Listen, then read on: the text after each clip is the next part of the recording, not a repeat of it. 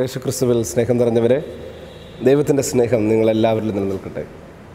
ഒരു ആറു വയസ്സുള്ള ബാലൻ കയ്യിൽ അമ്പത് രൂപവുമായി ഒരു കടയിൽ ചെന്ന് ചോദിക്കുകയാണ് ഇവിടെ ദൈവത്തെ വിൽക്കുമോ? ആ കടക്കാരൻ ഈ പയ്യനെ ശകാരിക്കുകയാണ്. അവൻ ഇപ്രകാരം കടക്കാരൻ ചോദിക്കുകയാണ് നീ എന്താ മനുഷ്യരെ കളിയാക്കുകയാണ്? അങ്ങനെ പറഞ്ഞുകൊണ്ട് ആ പയ്യനെ ആ കടയിൽ നിന്നും ഓടിക്കുകയാണ് ഈ കടക്കാരൻ. അവൻ ഓരോ കടകളിലും ചെന്നുകൊണ്ട് ഇപ്രകാരം ആ ചോദ്യം ആവർത്തിച്ചു ഇവിടെ ദൈവത്തെ വിൽക്കുമോ? പലരും അവന്റെ വാക്കുകൾ കേൾക്കാതെ നിന്നു. എന്നാൽ സന്ധ്യയായി ഏതാണ്ട് എഴുപതാമത്തെ കട അവൻ കയറുകയാണ്. അവിടെ ചെന്നുകൊണ്ട് ഇപ്രകാരം ചോദിച്ചു ഇവിടെ ദൈവത്തെ വിൽക്കുമോ? അപ്പോൾ ആ കടയിലെ ആ കടക്കാരൻ ഈ കുഞ്ഞിന്റെ ചോദ്യത്തിനോട് ഇപ്രകാരം ചോദിക്കുകയാണ് നിനക്ക് എന്തിനാണ് ദൈവത്തെ? എന്ന് വളരെ സന്തോഷമായി കാരണം ഇത്രയും നേരം എന്തിനാണ് നിനക്ക് ദൈവത്തെ എന്ന് ആരും ചോദിച്ചില്ല. ഇതാ ഒരു കടക്കാരൻ ആദ്യമായി അവന്റെ ചോദ്യത്തിന് ഉത്തരം കൊടുക്കുകയാണ്. അപ്പോൾ ഈ ബാലൻ പറയും എനിക്ക് മൂന്ന് വർഷം മുമ്പ് എന്റെ അപ്പനും അമ്മയും ഒരു ആക്സിഡന്റിൽ മരണപ്പെട്ടു. എന്നെ വളർത്തുന്നത് എന്റെ അങ്കിളാണ്. അങ്കിളും ഒരു ആക്സിഡന്റിൽ പെട്ടിരിക്കുകയാണ്. ആശുപത്രിയിലാണ് അങ്കിൾ. അങ്കിളിന് ഇതുവരെ ബോധം തെളിഞ്ഞിട്ടില്ല. ഡോക്ടർ പറഞ്ഞു ഇനി ദൈവത്തിന് മാത്രമേ ഈ അങ്കിളിനെ രക്ഷിക്കാൻ കഴിയുകയുള്ളൂ. ആ അതുകൊണ്ടാണ് ഞാൻ ദൈവത്തെ വാങ്ങിക്കുവാനായി ഇറങ്ങിയിരിക്കുന്നത്. ഈ ബാലൻ വിചാരിച്ചത് ഈ ദൈവമെന്ന് പറയുന്നത് എന്തോ അത്ഭുതകരമായ ഒരു കാര്യമെന്നാണ്.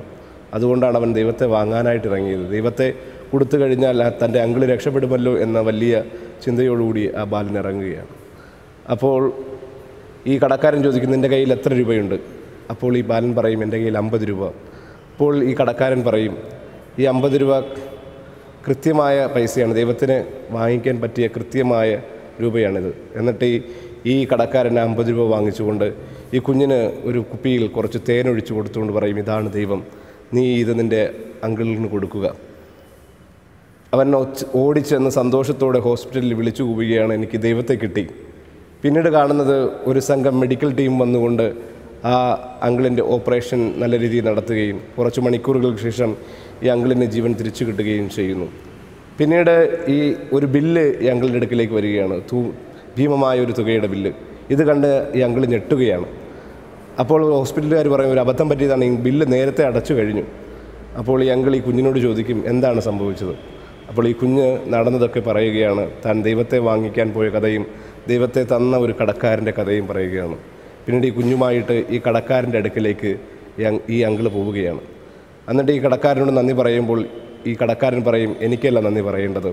നിഷ്കളങ്കമായ മനസ്സോടുകൂടി ദൈവത്തെ വാങ്ങിക്കാൻ ഇറങ്ങ ഇറങ്ങിയ ഈ കുഞ്ഞിനെയാണ് നന്ദിയോടുകൂടി ഓർക്കേണ്ടത്. സ്നേഹമുള്ളവരെ യഥാർത്ഥ ദൈവത്തിന്റെ വിലയെന്ന് പറയുന്നത് സ്നേഹം നിറഞ്ഞ ഒരു ഹൃദയമാണ്. സ്നേഹം നിറഞ്ഞ ഹൃദയത്തിന് ദൈവത്തെ വാങ്ങുവാൻ സാധിക്കുകയുള്ളൂ. ആരൊക്കെ മറ്റുള്ളവർക്ക് വേണ്ടി സ്നേഹത്തോടുകൂടി ഓടുന്നുവോ അവർക്കൊക്കെ ദൈവത്തെ കണ്ടുമുട്ടാനായിട്ട് സാധിക്കും. ഇന്ന് ആണ്ടുവട്ടത്തിലെ മുപ്പത്തിയൊന്നാം ഞായറാഴ്ച ഒരു നിയമജ്ഞൻ യേശുവിന്റെ അടുക്കൽ വന്ന് ചോദിക്കുകയാണ് ഏതാണ് സുപ്രധാനമായ കൽപ്പന? യേശു പഴയ നിയമത്തിലെ നിയമാവർത്തന പുസ്തകത്തിൽ നിന്നും ലേവിയുടെ പുസ്തകത്തിൽ നിന്നും രണ്ട് സുപ്രധാനമായ കൽപ്പന എടുത്തുകൊണ്ട് അവരോട് പറയുകയാണ് ഇതാണ് ഏറ്റവും സുപ്രധാനമായ കൽപ്പന. നിന്റെ ദൈവമായ കർത്താവിനെ പൂർണ ഹൃദയത്തോടും പൂർണ ആത്മാവോടും പൂർണ ശക്തിയോടും സ്നേഹിക്കുക. നിന്നെപ്പോലെ തന്നെ നിന്റെ അയൽക്കാരനെയും സ്നേഹിക്കുക. സ്നേഹമാണ് യേശുവിന് മുന്നിൽ ഏറ്റവും വലിയ കൽപ്പന എന്ന് പറയുന്നത്. ദൈവസ്നേഹവും മനുഷ്യ സ്നേഹവും യേശു പിന്നീട് പിന്നെ വചനത്തിലൂടെ കടന്നു പോകുമ്പോൾ യേശു പറയുന്നുണ്ട് ഞാൻ നിങ്ങൾക്കൊരു പുതിയ കൽപ്പന നൽകുന്നു. ഞാൻ നിങ്ങളെ സ്നേഹിച്ചതുപോലെ നിങ്ങളും പരസ്പരം സ്നേഹിക്കുവിൻ. എപ്പോഴാണോ നമ്മുടെ കൂടെയുള്ളവരുടെ കുറവുകളും ബലഹീനതകളും തെറ്റുകളും അറിഞ്ഞും അംഗീകരിച്ചുകൊണ്ടും അവരെ കുറ്റപ്പെടുത്താതെ വിധിക്കാതെ തള്ളിപ്പറയാതെ അവരെ കൂടെ നിർത്താനും അവരെ സ്നേഹിക്കാനും നമുക്ക് സാധിക്കുന്നത് അപ്പോഴാണ് നമ്മൾ ദൈവസ്നേഹത്തിൽ നിലനിൽക്കുന്നവരായിട്ട് മാറുന്നത്. റബ്ബി ഹില്ലേലിന്റെ അടുക്കൽ യഹൂദ മതത്തിൽ ചേരാൻ ആഗ്രഹിച്ച ഒരു മനുഷ്യൻ വന്ന് ചോദിക്കുകയാണ് എങ്ങനെയാണ് നിയമ ഈ നിയമങ്ങളെയൊക്കെ ഒറ്റ വാക്കിൽ സംഗ്രഹിക്കാൻ സാധിക്കുമോ എന്ന്? അപ്പോൾ റബ്ബി ഹില്ലയിൽ പറയുന്നുണ്ട് നിനക്ക് ഇഷ്ടമില്ലാത്ത കാര്യങ്ങൾ നീ മറ്റുള്ളവർക്ക് ചെയ്യാതിരിക്കുക. അതാണ് ഏറ്റവും വലിയ കൽപ്പന. ബാക്കിയുള്ളതൊക്കെ ഇതിന്റെയൊക്കെ വ്യാഖ്യാനങ്ങളാണ്. സ്നേഹമുള്ളവരെ ഈശോ നമ്മളെ സ്നേഹിച്ചു. അവിടുന്ന് നമ്മളെ സ്നേഹിക്കുന്നത് നമ്മുടെ പഴയകാല ജീവിതത്തെ ഓർത്തല്ല ഓരോ ദിവസവും പുതിയ സ്നേഹം കൊണ്ട് നമ്മളെ നിറയ്ക്കുകയാണ്.